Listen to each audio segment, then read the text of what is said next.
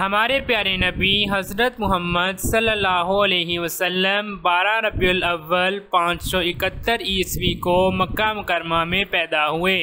آپ صلی اللہ علیہ وسلم کے والد ان کی پیدائش سے پہلے ہی وفات پا گئے۔ آپ صلی اللہ علیہ وسلم کی والدہ حضرت بی بی آمنہ نے آپ کی پرورش کی، لیکن چھ سال کی عمر میں وہ بھی وفات پا گئیں۔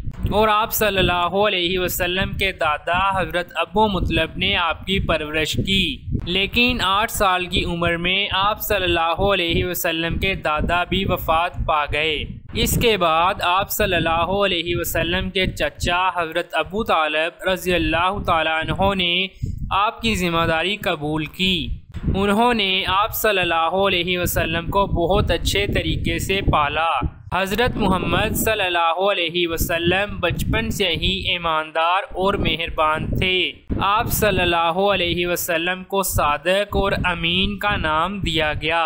آپ صلی اللہ علیہ وسلم غریبوں اور ضرورت مندوں کی مدد کرتے تھے۔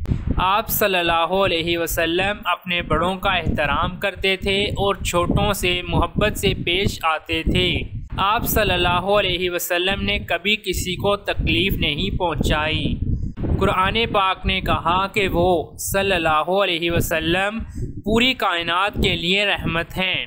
آپ صلی اللہ علیہ وسلم کی شادی پچیس سال کی عمر میں حضرت ختیجہ رضی اللہ تعالی عنہ سے ہوئی۔ چالیس سال کی عمر میں اللہ تعالیٰ نے آپ کو نبوت عطا کی۔ پھر آپ صلی اللہ علیہ وسلم نے پوری دنیا میں اسلام کا پیغام پھیلانا شروع کیا۔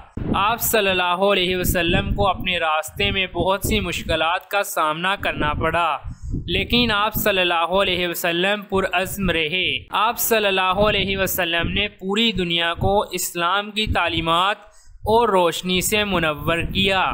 تریسٹھ سال کی عمر میں آپ صلی اللہ علیہ وسلم اپنے خالق حقیقی سے جا ملے۔